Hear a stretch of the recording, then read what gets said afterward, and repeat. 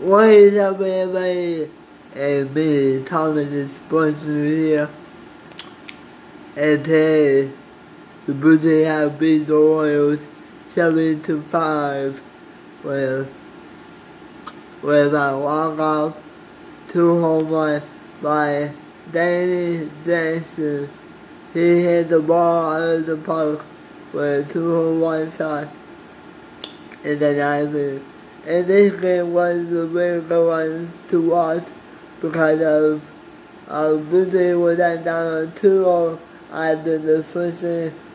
Then they split the game in half. In the second, then the Warriors scored a one one in the third. Blue scored the fourth one, four ones in the, uh, in the fifth inning with a grand slam by Kadri Biggio. His grand slam. He bought four RBIs in a in a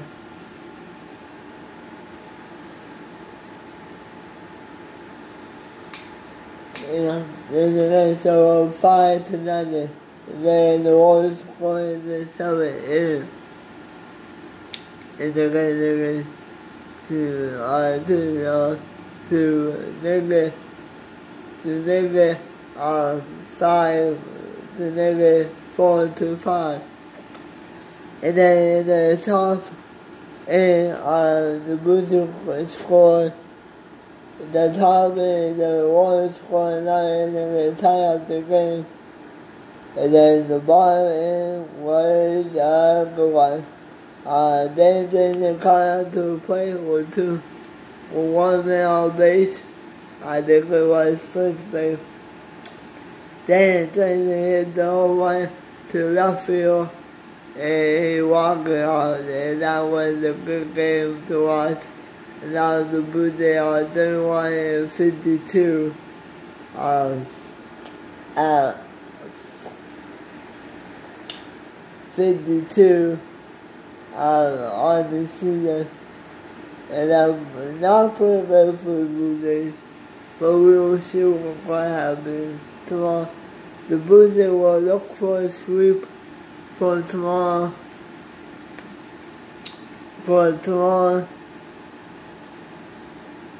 Look, the Jays will look for I win uh, against the Warriors tomorrow with the game series.